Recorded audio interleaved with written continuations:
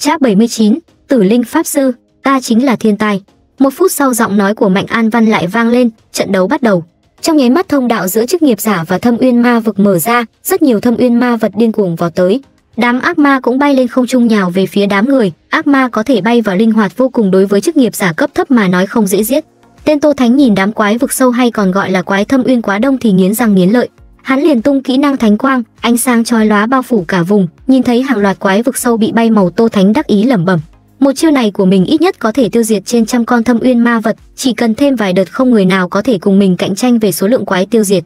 Tên Tô Thánh quay sang nhìn Lâm Mặc Ngữ, thấy Lâm Mặc Ngữ vẫn chưa bắt đầu, hắn liền khó hiểu mà nghĩ, tên kia vẫn chưa chịu hồi mấy bộ xương sao, hắn ta định bỏ cuộc rồi à? Chắc là thấy kỹ năng bá đạo của mình nên rén ngang rồi chứ gì.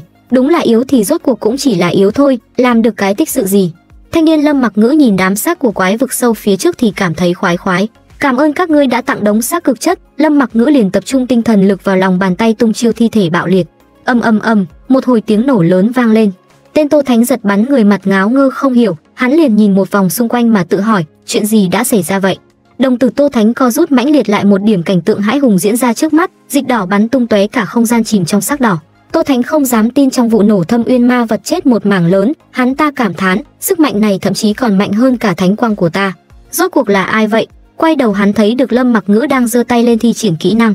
Chẳng lẽ là hắn? Vụ nổ này hiển nhiên là do Lâm Mặc Ngữ gây nên. Sau một lúc quan sát thật kỹ tên Tô Thánh mới dám tin, thật sự lại là hắn ta. Thật không ngờ, hắn không chỉ là một pháp sư triệu hồi mà còn là pháp sư sở hữu phương thức tấn công diện rộng cực mạnh. Xem ra tại cuộc thi đội nhóm, hắn chưa hề dùng toàn lực. Tiếng kêu không ngừng vang lên thâm uyên ma vật giống như cỏ bị cắt ngã xuống. Mỗi một lần nổ tung đều có thể mang đi mấy trăm thâm uyên ma vật, trong phạm vi kỹ năng, thâm uyên ma vật đã bị nổ sạch không còn một ai. Thâm uyên ma vật còn lại còn đang xung phong khoảng cách song phương nhanh chóng kéo gần lại. Lâm Mặc Ngữ giơ tay liên tục sử dụng kỹ năng, lại là một hồi nổ mạnh.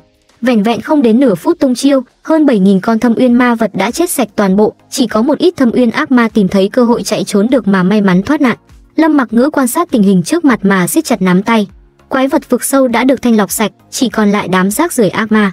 Mấy tên chức nghiệp giả tham gia đấu đơn khác nhìn thấy cảnh này thì bàn tán xôn xao. Quái vật gần như đã bị Lâm Mặc Ngữ giết sạch, nhưng vẫn còn rất nhiều ác ma. Điểm tích tích lũy của ác ma gấp trăm lần quái vật sâu, chúng ta vẫn còn cơ hội. Tên Tô Thánh đứng gần đó nghe thấy mấy câu này thì như nhìn thấy ánh sáng cuối con đường, đúng vậy, vẫn còn ác ma vực sâu, miễn là giết ác ma đủ nhiều ta vẫn có thể đảo ngược tình thế. Tên Tô Thánh liền sử dụng kỹ năng áo giáp thánh quang nhằm muốn lao lên tiêu diệt nhanh đám ác ma vực sâu. Nhưng hào hứng chưa được bao lâu thì bất ngờ tên Tô Thánh cảm thấy có gì đó không đúng. Đưa mắt nhìn về phía Lâm Mặc Ngữ, tên Tô Thánh toát hết mồ hôi lạnh. Một con boss khổng lồ xuất hiện trước đó khi thanh niên Lâm Mặc Ngữ dùng lưỡi hái tử thần triệu hồi nó ra. Tên Tô Thánh đứng đơ người như chết lặng khi thấy con boss khổng lồ này. Con boss chạm gác tiền đồn nhanh chóng lao lên, những sợi xích đỏ của kỹ năng lời nguyền làm chậm nhanh chóng khống chế đám ác ma vực sâu đang bay lơ lửng. Được sự hỗ trợ của kỹ năng lời nguyền làm chậm, con boss người bảo vệ chạm gác tiền đồn không khó bóp nát đầu mấy con ác ma bị khống chế. Nhanh chóng đám ác ma vực sâu bị tiêu diệt số lượng cực lớn, đám người bàn tán xôn xao, sao cái thứ đó rất giống boss chạm gác tiền đồn vậy. Đây cũng là một thành viên trong đám bộ xương của Lâm Mặc Ngữ sao, rốt cuộc hắn còn bao nhiêu thủ đoạn nữa. Nếu hắn triệu hồi thứ này sớm trong cuộc thi, chắc chắn đã đoạt ngôi vô địch từ lâu rồi. Tên Tô Thánh nhìn mà cạn lời, nghề nghiệp ma quỷ gì thế này?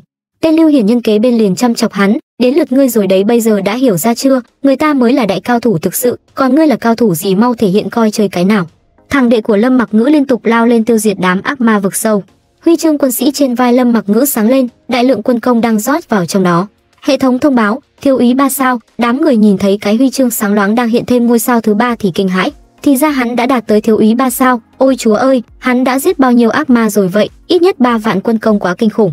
Họ dường như đã quên những gì vừa xảy ra. Thật sự là huy chương quân sĩ cấp thiếu úy quá mức chói mắt.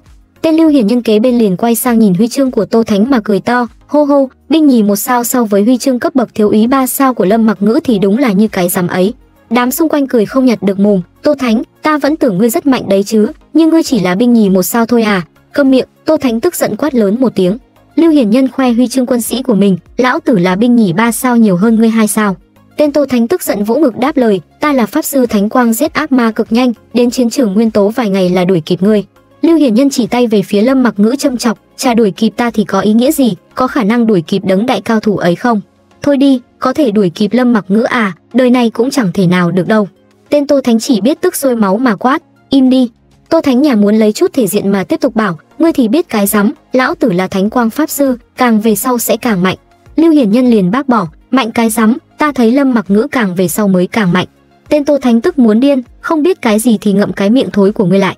Trong lúc tên Lưu Hiển Nhân và Tô Thánh đấu khẩu thì đám người phía sau nhận ra vấn đề. Khi thấy xung quanh không còn ác ma vực sâu, có vẻ đã hết ác ma rồi phải không? 7000 quái vật vực sâu đều bị Lâm Mặc Ngữ giết sạch.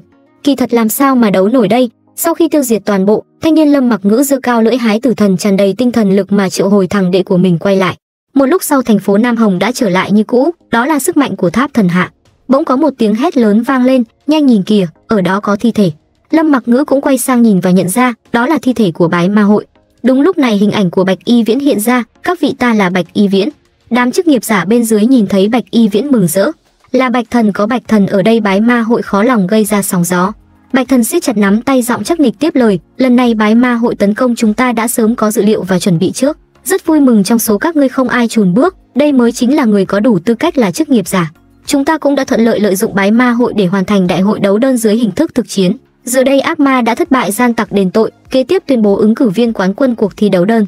Quán quân cấp bậc 20 đến 29 chính là Lâm Mặc Ngữ. Ba phần thưởng đấu đơn cũng giống như đấu đội, bao gồm một túi tiền vàng, bình dược phẩm và cuộn kỹ năng sơ cấp. Bạch Thần còn tiếp tục bật mí một xíu bí mật, ngoài ra, ngày mai chúng ta sẽ tổ chức đại hội thách đấu. Ai tự tin vào năng lực của mình thì có thể đến thử sức, giải thưởng của đại hội thách đấu rất hấp dẫn đấy. Thanh niên Lâm Mặc Ngữ nghe tới phần thưởng thì hai mắt sáng lên rồi ồ một tiếng, có thưởng thì nhất định sẽ tham gia. Đã kết thúc tập 79 của bộ truyện tranh Tử Linh Pháp Sư, ta chính là thiên tài rồi. Các đạo hữu sư huynh sư tỷ đừng quên cho tiểu muội một like, một subscribe kênh hoặc để lại bình luận bên dưới. Tiểu muội sẽ rất vui và xem đó là động lực giúp tiểu muội ra thêm nhiều video hơn nữa.